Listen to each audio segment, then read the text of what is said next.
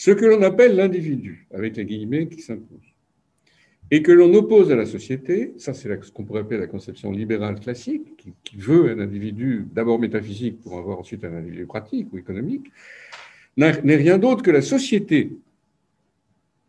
cette euh, réduction de l'individu à la société est déjà étrange. Hein bon. Ce sont des couches successives de socialisation, si l'on peut utiliser cette image, qui s'agglomère autour du noyau monadique. Alors, je vais préciser ce qu'il entend par là, parce que c'est son concept, c'est un de ses concepts psychanalytiques centraux. De façon, du reste, très bigarrée. Bon, donc, ce que l'on a au départ, si l'on peut dire, ce n'est pas du tout un individu qui serait constitué. C'est une erreur de croire, comme le pense la pensée libérale, dans toutes ses acceptions, qu'elle soit néo ou pas néo, ou paléo, hein, euh, c'est une erreur de croire, mais Marx également, parce que Marx, à cet égard, est bien plus proche des libéraux qu'on ne le pense. Il partage avec eux un concept fondamental qui est qu'il y a des individus déjà constitués. Or, pour Castoriadis, ce n'est pas le cas. Bon, et, on pourrait même dire, sera-ce jamais le cas? Vous allez voir que ça reste compliqué. Bon. Y a-t-il jamais une communauté dans laquelle on rencontre des individus? Castoriadis dit la seule communauté, alors ça c'est ce qu'il appelle son projet politique, qu'il a toujours maintenu. La seule communauté dans laquelle pourraient apparaître des individus, ce serait la communauté autonome, comme il l'entend. Donc, il faudrait que la communauté produise des individus dignes de ce nom.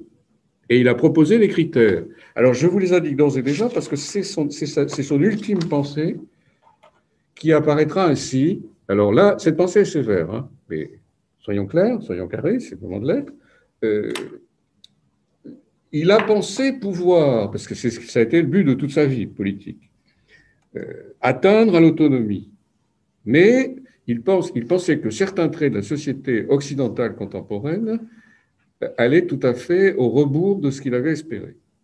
Donc, on n'allait pas du tout vers l'autonomie, on va vers ce qu'il appelle, dans ces dernières années, les années 90, l'insignifiance, qu'il faut prendre au sens absolument fort du mot, Hein, c'est l'absence de signification de la vie, qu'elle soit individuelle ou collective.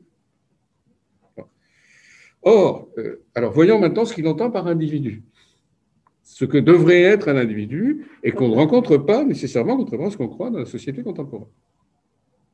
Et peut-être dans aucune société. N'oublions pas que Castoriadis, c'est aussi un grec, hein, et qu'il réfléchit par rapport à la pensée antique. Donc un individu, dit-il, c'est quelqu'un qui a le sens de la responsabilité, de la honte, au sens grec, c'est-à-dire qui, est retenu d'accomplir certaines actions, ou qui se retient d'accomplir certaines actions.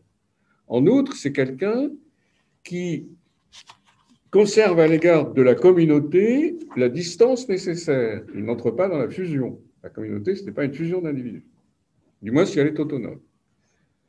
D'autre part, les individus, ne doivent pas compter sur une quelconque puissance qui les surplombe, qu'on appellerait un État par exemple, pour être dans un rapport de communauté avec les autres.